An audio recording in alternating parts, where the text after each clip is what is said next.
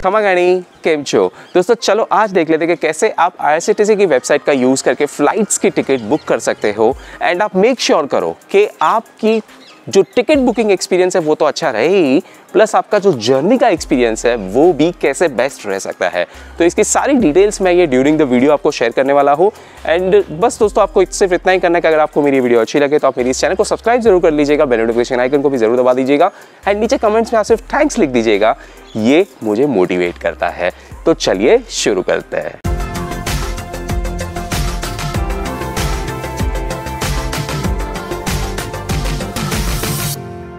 Okay okay, तो अब ये मैं आ चुका हूँ मेरे विंडोज़ के लैपटॉप पे। एंड चलो अब हम क्रोम ब्राउज़र को ओपन करते हैं। इसमें आप देख सकते हो ये आई की वेबसाइट ऑलरेडी ओपन है ठीक है? ये वेबसाइट से आपको बुक करनी है टिकट तो आप यहाँ पे फ्लाइट्स पे क्लिक करोगे एंड इस तरीके से आप air dot I S T C dot co dot in पर आ जाओगे। मैंने इन दोनों की ही लिंक्स डिस्क्रिप्शन में दे दी है। एक बार आप यहाँ पे आ जाओगे ये वेबसाइट लोड हो जाएगी तो आपको इसमें लॉग इन करके ऑलरेडी रखना है। एंड ये आप देख सकते हो, यहाँ पे वेलकम अंकुश शाह लिखा है दैट मीन्स कि मेरा यहाँ पे ऑलरेडी लॉग इन हो चुका है।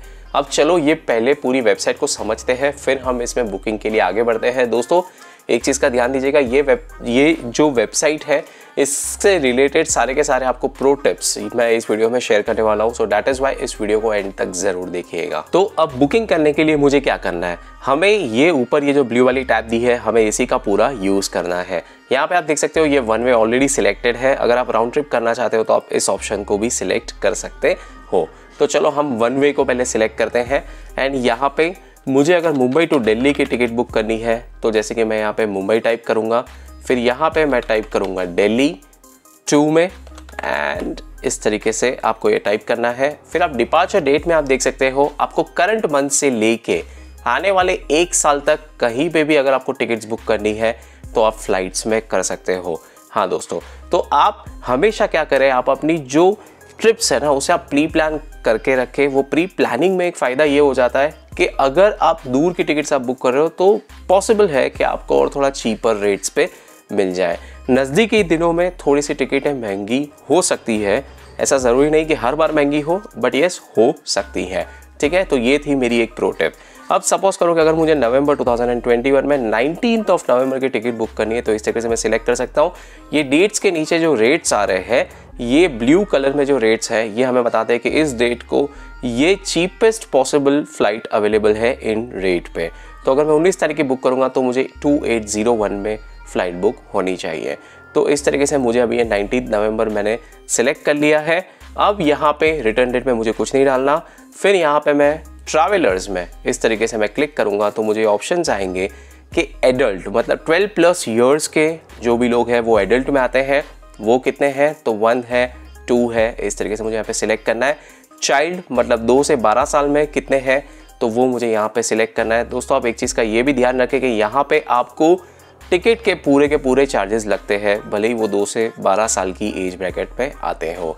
इन्फेंट की बात करें तो ये अंडर टू ईयर्स में ये आपको सिलेक्ट करना है कि कौन है। एंड चूज़ क्लास में आपको इकोनॉमी बिज़नेस या प्रीमियम इकोनॉमी जो चाहिए आप सिलेक्ट कर लो। प्रेफर्ड एयरलाइंस अगर आपको कोई चाहिए तो वो आप यहाँ पे लिस्ट में से आप सिलेक्ट कर सकते हो। ये आप बाद में भी सिलेक्ट कर पाओगे बट अगर यहाँ से अगर आपको आपकी कोई प्रेफर्ड एयरलाइन रखनी है तो आप रख सकते हो।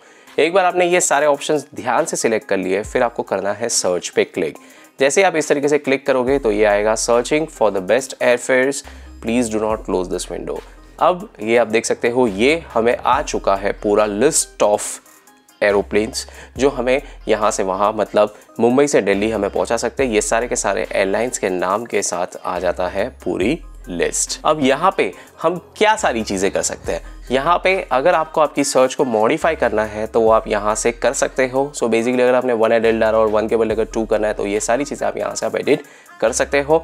लेफ़्ट हैंड साइड में आप देख सकते हो, यहाँ पे आपको सारे के सारे फिल्टर्स मिलते हैं। तो आपको मिनिमम मैक्सिमम प्राइस क्या चाहिए?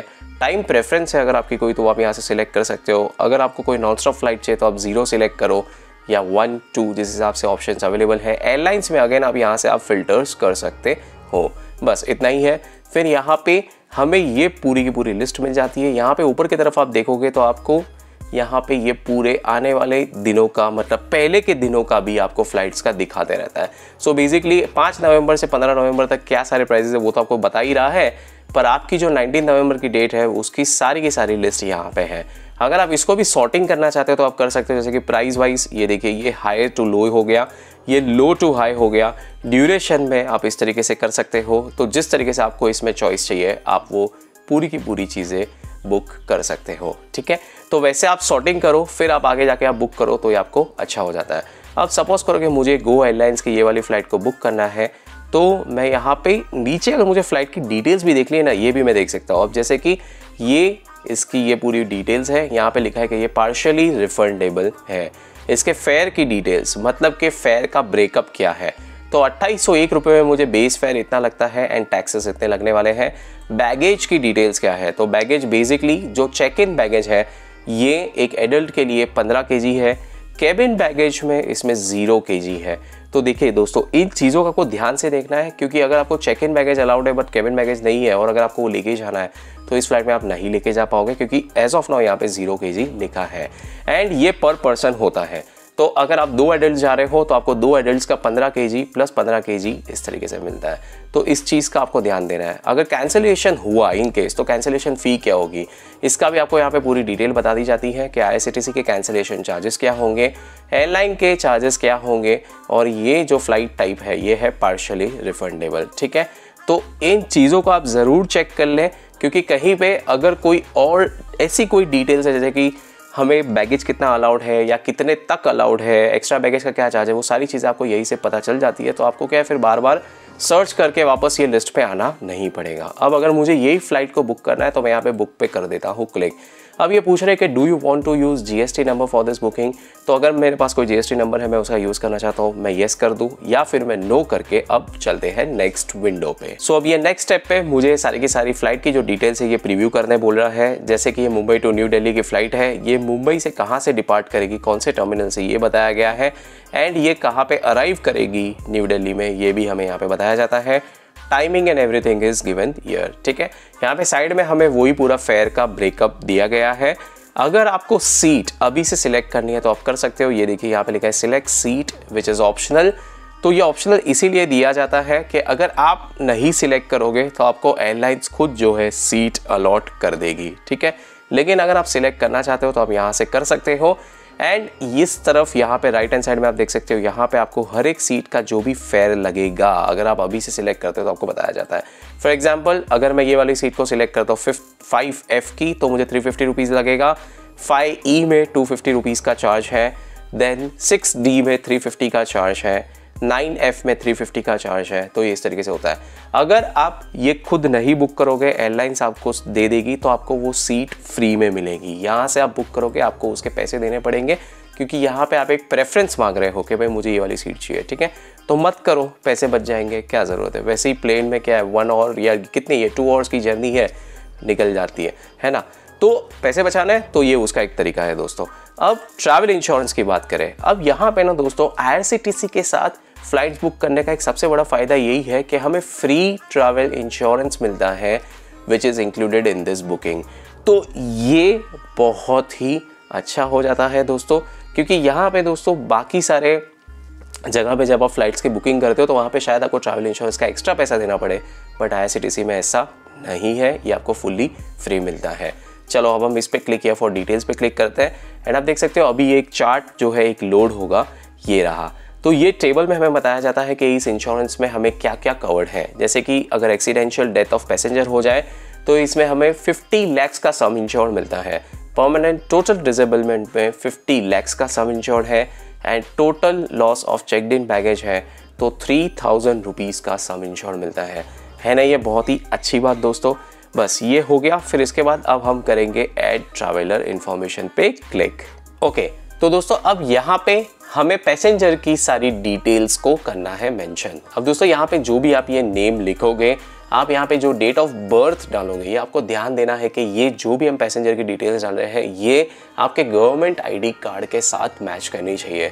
जैसे कि आप अगर पैन कार्ड लेके जाने वाले हो, या आधार कार्ड लेके जाने वाले हो, या फिर आपका पासपोर्ट तो ये उसके साथ वेरीफाई करके ये करेक्ट होना चाहिए.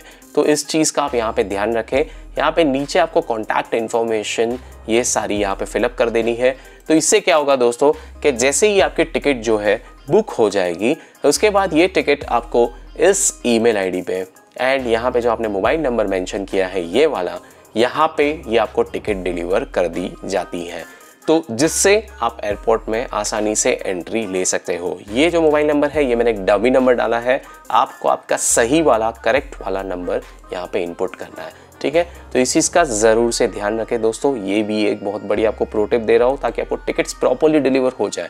फिर आप कंफ्यूज ना हो जाओ कि यार ये टिकट गई कहाँ पे, ठीक है? फिर यहाँ पे हम ये बाइक क्लिकिंग पे इस पर मैंने टिक कर दिया है। अब यहाँ पे हम कंटिन्यू पे करेंगे क्लिक ये करते ही हमें वापस ये प्रीव्यू वाले पेज पे लेके आ गया।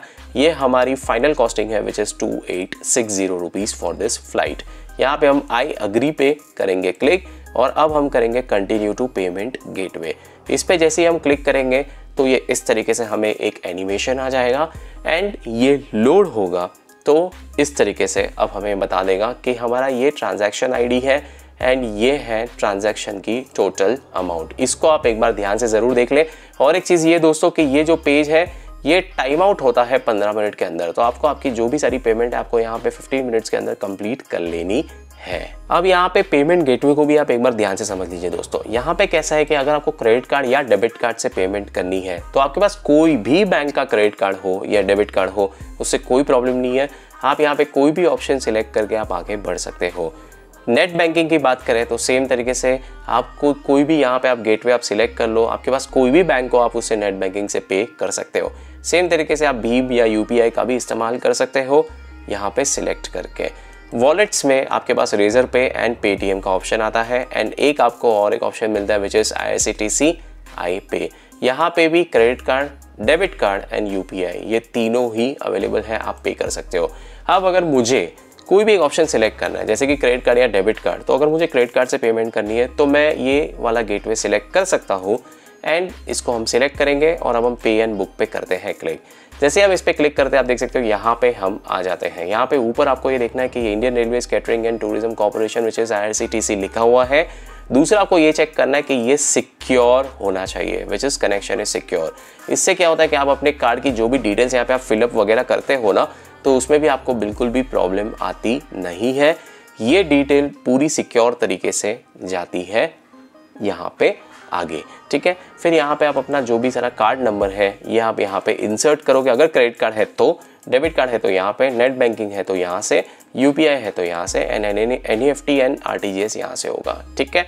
क्रेडिट कार्ड की डिटेल्स है तो यहाँ पे आप इनपुट करो एक्सपायरी डेट सीवीवी सारी चीज़ें डालो, फिर आप मेक पेमेंट पे क्लिक करोगे।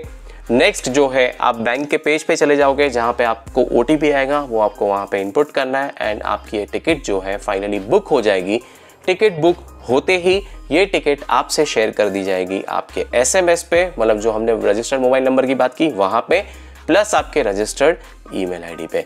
दैट्स इट एक बार ये टिकट आपकी बुक हो जाती है देन यस आपका काम हो चुका है। अब इसके बाद आपको सिर्फ़ एक ही चीज़ करनी है which is web check in तो वो भी आपको बता देता हूँ। अब वेब चेकिंग का तरीका भी एकदम सिंपल है। आपको सिर्फ़ क्या करना है कि यहाँ पे आपको A dot I S C T C dot co dot in पे आना है। दैट्स इट एंड आपको यहाँ पे ये ऑप्शन मिलता है वेब चेक इन का। आप इस पर ऐसे क्लिक करोगे तो ये आपको जिस एयरलाइन में आपने बुक किया है, उसी पे आप ऐसे क्लिक करोगे। एंड बस ये फिर आपको एयरलाइन की रिस्पेक्टिव वेबसाइट पे लेके जाएगा। वहाँ पे आपको आपका पीएनआर नंबर ये जो टिकट का जो आपको शेयर किया गया है, जो टिकट आपको शेयर की गई है, उस पर लिखा हुआ रहता है। वो वहाँ पर आप सिलेक्ट कर लो। आपका ईमेल या लास्ट नेम जो है वो भी आप यहाँ पे इनपुट कर दो और फिर आपको सीधा वेब चेक इन करना है। एंड दोस्तों कोविड 19 के चलते वेब चेक इन कंपलसरी कर दिया गया है। तो इस चीज़ का आप ध्यान ज़रूर रखें। तो भाई, आप, है ना एयरपोर्ट पे जाके ट्राई मत करना, वो पॉसिबल नहीं है। तो अब आपको वो यहीं से करना है। तो दोस्तों, बस यही है। ये पूरे वीडियो में काफ़ी सिंपल है एंड काफ़ी अमेजिंग चीज़ है। Air dot I I C T C dot co dot in को यूज़ करके एक फ़्लाइट टिकट को बुक करना। अगर आपको कोई भी प्रॉब्लम आए, ये पूरे प्रोसेस में कुछ ना समझ में आया हो तो आप मुझे नीचे कमेंट्स में ज़रूर पूछ सकते हो। आप मुझे नीचे कमेंट्स में थैंक्स भी लिख दीजिए अगर आपको वीडियो अच्छी लगी हो, दोस्तों। एंड आप प्लीज़ मेरी इस चैनल को सब्सक्राइब ज़रूर कीजिएगा। बेल नोटिफिकेशन आइकन को भी ज़रूर दबा दीजिएगा, ताकि मेरे आने वाले सारे वीडियोज़ आप सबसे पहले देख पाओ।